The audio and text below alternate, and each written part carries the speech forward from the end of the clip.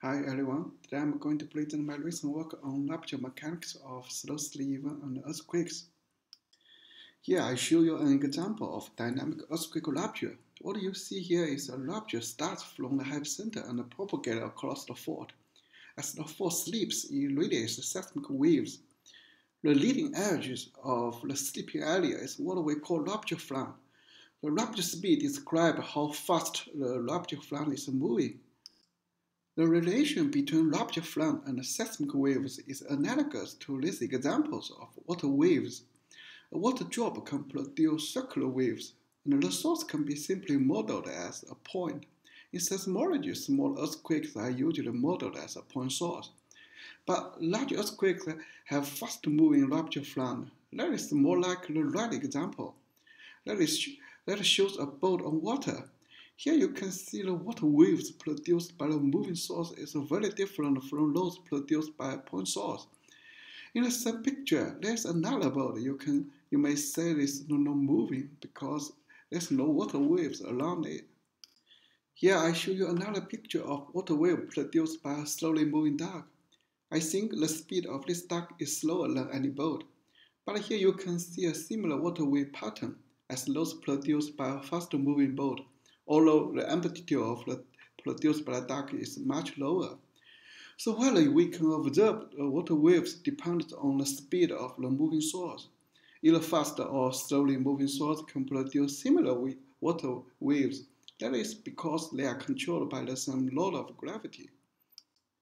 In natural force, we also observed a wide range of speed for the moving rupture front.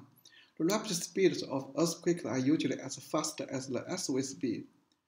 For large earthquakes, the rupture propagation is confined at the depths and propagated horizontally.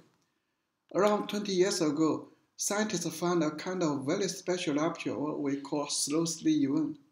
The rupture speed of slow slip are much, much slower. Few observations shows that slow slip may even trigger earthquakes. For both large slow slip and earthquake, their rupture length is usually longer than their width. On the right figure, I compiled a global data set of slow slip events, regular earthquakes, and laboratory experiments. The vertical axis is the rupture speed. The horizontal axis is the peaks deployed. You can finally observe the rupture speed span a wide range from as slow as a snail up to as fast as a rocket. Rupture speed increases with peaks deployed. For regular earthquakes, the amplitude of seismic waves are so strong that we can de detect the shaking waves. But this is not the case for slow events. So we need to use the GPS to constrain uh, their source property. The empirical scaling relation between seismic moment and uh, rupture duration has been used to understand the physics of slow events. For regular earthquakes, they found a cubic scaling relation. To compare with this cubic scaling, they compiled the global slow earthquakes, including slow slip event, low frequency, and very low frequency earthquakes, and they found the scaling is linear. Therefore, they suggest that the behavior of slow earthquakes is different from regular earthquakes. But in recent studies that focused on the slow slip in a particular environment, they found the moment duration is nearly cubic. So they suggest the physical mechanism of slow slip is similar to regular earthquakes. In this debate, the main difference is that they use different data sets. The most recent paper consider a particular environment such as in Cascadia subduction zone, while the earlier paper include multiple data sets. So here the question is that why the moment duration scaling depends on the data set. Here I'm going to answer these two general questions. What is the general mechanism for slow slip event and how to reconcile the debated moment duration scaling relations? We know the ruptures of large earthquakes usually saturate the depth boundaries and form an elongated rupture area. We have studied this kind of ruptures numerically and analytically. In order to make this 3D rupture problem mathematically tractable, we made some approximations. Here we simplified it as a full space model and consider a planar fault with finite width.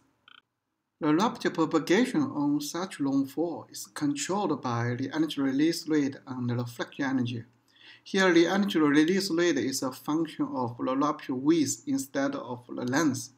When the energy release rate is larger than reflection energy, the rupture accelerates. If the energy release rate is smaller, then the rupture decelerates and finally stops. We were able to fit these numerical results with the theoretical equation of motion. This equation is fundamentally different from the classical 2D equation of motion.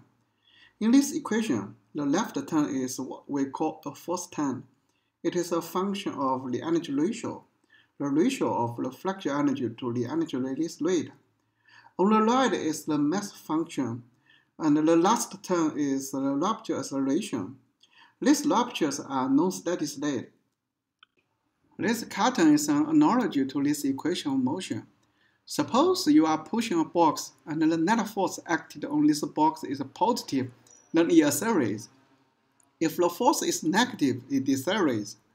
Now how can we get a constant speed? One condition is that the net force is zero, so the acceleration is zero.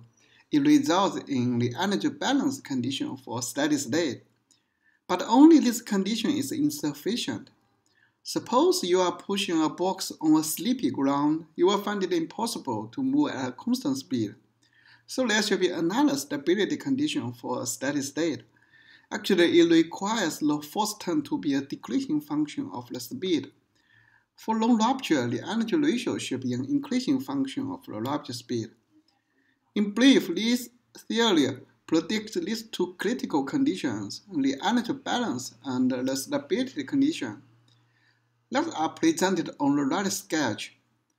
This purple curve is the energy ratio as a function of rupture speed. A steady state rupture is predicted when these two conditions are satisfied. The rupture speed depends on the frictional properties. This theory is fundamental because it does not involve any specific friction law. But what kind of friction law can guarantee these two conditions? Here I show one example from laboratory experiment on frictional behavior of logs. The horizontal axis is the slip rate and the vertical axis is the force strength. This result shows the friction is velocity weakening at low slip rates, but above certain critical slip rate it transitions to velocity strengthening, and at seismic slip rate it becomes velocity weakening. Because the rupture speed is positively related to the slip rate, so this velocity strengthening at a certain range of slip rate is expected to produce steady-state ruptures. In addition to this experiment, other frictional mechanisms that involve the changes in fluid pressure may produce similar results. For example, the fault gouge dilatancy can produce a similar strengthening, and the thermal pressurization can produce a strong weakening at seismic slip rates. In this study, I validated the theoretical prediction by a simple latent state friction law with transition above a critical slip rate. All the simulations are single rupture. For rupture speed close to the Earth speed, I use the fully dynamic model.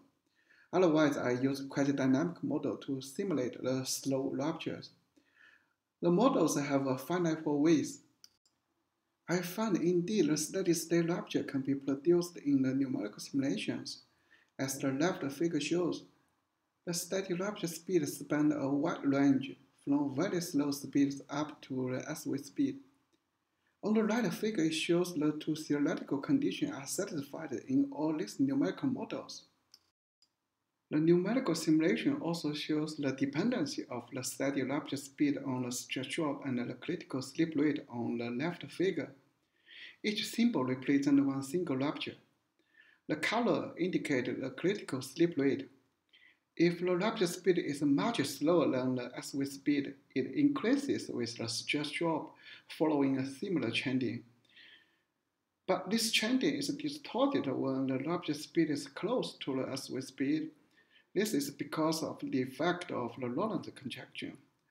Accounting for this Lorentz contraction factor on the right figure, I found all the simulation results clapped onto one single curve after normalization.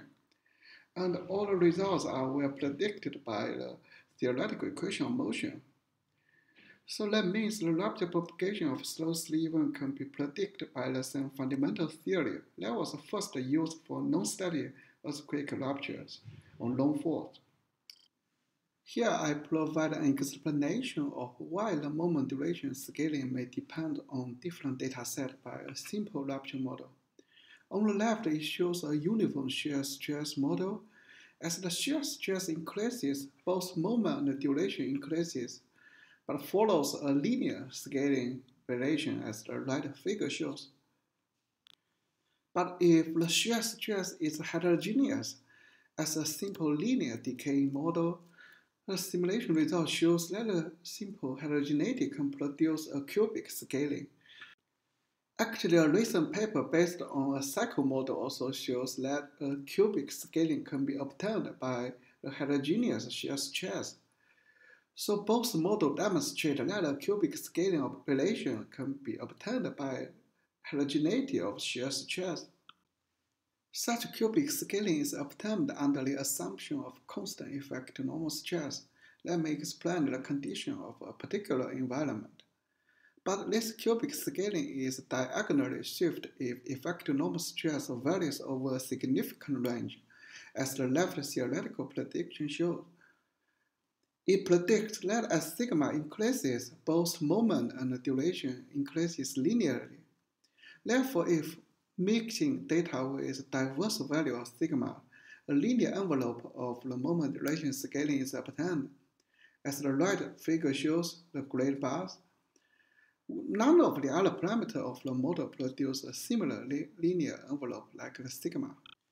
Slow slip event usually rupture each fault segment separately, but some event can occasionally bridge multiple fault segments and form large magnitudes the historical earthquake data also shows large earthquakes are usually confined within separate segments, and some super huge events can bridge multiple segments.